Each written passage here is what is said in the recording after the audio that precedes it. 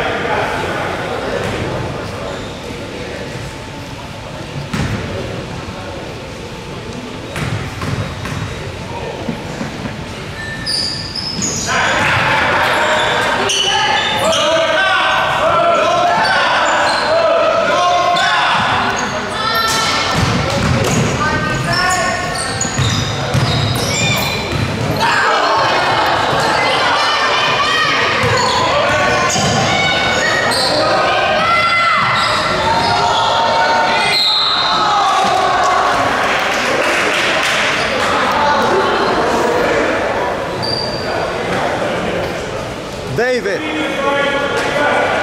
Relax, guys. You have to relax.